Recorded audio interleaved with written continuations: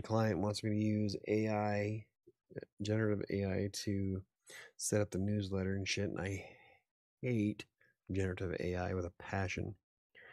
And then one's like, um, use AI to come up with this list. I'm like, how about I just do the damn research and come up with a list myself? Fuck, people are putting too much emphasis on AI. And it's not even, if you think about it, it's not re- even artificial intelligence. Artificial intelligence would indicate that it would think on its own, but it doesn't. It's an advanced, um, what predictive text. It just gives you an answer based on what you input. Predictive te- predictive text does the exact same thing. This is just predictive text on steroids.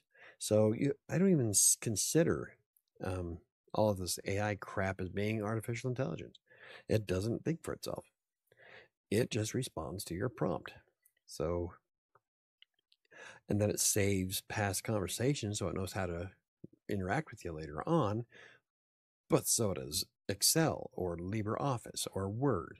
All these other ones, it's just, it's predictive text. That's all it is. Just, it's, yeah, it's predictive text on steroids. That's all.